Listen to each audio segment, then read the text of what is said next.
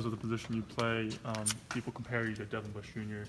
Uh, How do you handle those expectations? Uh, you know, I handle them well. I mean, I'll say this, like, last year, playing with a guy like D. Bush, that dude, one of the best players I've ever been around. So learning from him, you know, him kind of passing the torch into this year for me, it's been a big deal. So I'm ready to go. What, what gives you confidence that you're ready to go to step up for him? Just, I mean, the day to day, working every day, getting comfortable with my teammates, and becoming a better leader myself, just for the guys that, you know, on the defense playing. So it's a big deal with all that. So it's been good. A lot of people expect a step back, given the personnel you lost. Why do you think you guys can maintain that standard?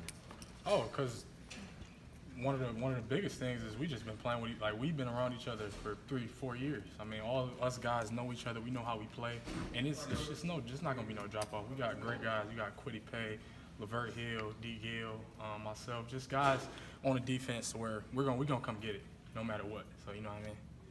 Your name's been brought up by quite a few people as a as a leader. What's your what's your leadership skills like? What do you what's your your method? Yeah, my my method, um, one of my main, main methods, is just being positive all the time. You know, every time we take the field, no matter if it's you know we we have a great possession, great great possession or a bad possession, always staying positive and being even killed.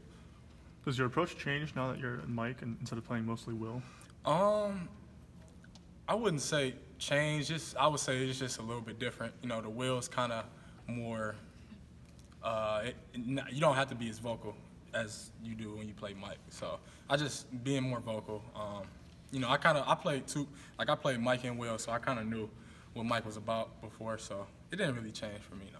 Does Mike require a, a greater understanding of the system, or Um, a little bit. I mean, just more communication. You know, you're out there making the calls, uh, getting everybody lined up, and you know, something goes wrong, it's kind of on you. You know, because you're out there kind of directing everything. Obviously, people are familiar with your predecessor, but now that you're at Mike, what do you, how would you describe your game to, to people but haven't seen you play there yet? Yeah, I'm. I would say I'm a guy that's never gonna stop. Never gonna stop. I'm always gonna push. I'm. I'm I got a high. I'm a high motor guy. I'm a big hitter, and I'm always gonna get to the ball no matter what. that kind of like Khaleke Hudson? Would you kind of classify him the same way? Khaleke, that dude, Khaleke is special. I mean, he's just you, you rarely see athletes like Khaleke, a guy that's you know as strong as he is, as fast as he is, as quick as he is. I mean, it's kind of crazy to see. So Khaleke is just one of those special athletes that you get every once in a while. How the running backs look at, but about specifically Charbonnet. Yeah. Oh, I was just about to bring him up. He's been looking really good. Uh, he's definitely uh, been been excelling, playing really well, fast, uh, learning his plays really good, and he's been he's been impacting that offense a little bit. And the other guys, Christian and. uh, Yeah, CT and uh, and Tru, they've been all the backs been looking really really good, um, playing really really well, and uh, I'm ready to see what they do on uh, in game day. So. You love to tackle them? Uh, Practice? yeah, I mean sometimes we got live periods, sometimes we don't. But I mean if it's live, they they going down no matter what. That's how it goes. Is he hard to tackle, Charbonnet? Uh, Charbonnet, yeah, he's pretty hard to tackle. He's just a bigger, more you know, stouter type back. Um, I mean, still a freshman, still learning, still growing, but he's going to be a heck of a player. What are your thoughts on the other corner position from Lavert and how that's played out? Yeah. So you saying you talking about just Lavert? Or you talking Other- about the the other other, side. other side? So Vince, Vince and Ambry. So uh, Vince has been playing really well. I mean, just just to see his progression uh, from last year to this year, it's been magnificent. I mean, learning everything, on everything, batting balls down all the time. And then now we just got Ambry back in the fold, uh, probably like a like a week ago, and he's been getting back at things, and he hopped in real well. And he, everybody knows how good a player Ambry is. He's just getting back in his groove. How does he look? I mean, does he look He 100%, look, yeah, 90%? yeah. He looks really good. He looks really good. He's moving around really well, and it was so unfortunate that that had to happen to him with uh, his stomach and everything, and had to be out for so long. But he's back full go, and he's ready to go. Jordan was just here saying the defense will be scary, but said the offense will be scary as Yeah. well to match Oh, you yeah. guys. How, how does it look and how has it evolved from the spring first Yeah, I mean, our offense is just one of those high-paced offenses that's gonna go get it. I mean, you got so many weapons on the field. Like, every receiver is ridiculous. Our whole line is ridiculous. Like quarterback is great. So this offense will definitely take a lot of steps forward from last year. How they tested you. they test us a lot every day. I mean, we playing against you know guys that's up tempo, guys that's threatening us deep. You know, all these type of things, and it, it tests us every single day, and it makes us better as well as us making them better. How much does that up tempo and the speed and space and you know, all that kind of stuff, how much does that help prepare you for some of those games where you go up against some of those speedier athletes? help, help prepares us a lot. I mean, when you when you got an offense uh, that that's that up tempo, it just kind of innately picks up that win. You have that win when you you know you kind of know how it operates when you're going against a team that's kind of no huddle and all that type of stuff. So it helps a lot. Which freshmen have stood out to you? Uh, any freshman? Yeah. Uh, I would say DJ Turner and Dax. They they probably stood out the most. Uh, specifically DJ. He's he's been really playing well. Um, just coming in like it's so tough because and I was in the same position. Just coming in, having to go through the bridge program, coming in the summer, and you got to do school in, in the first two weeks of camp, going to class, and uh, to see those guys, especially Dax and DJ, kind of hit find that light so early and playing so well. It's crazy to see because that's hard to do.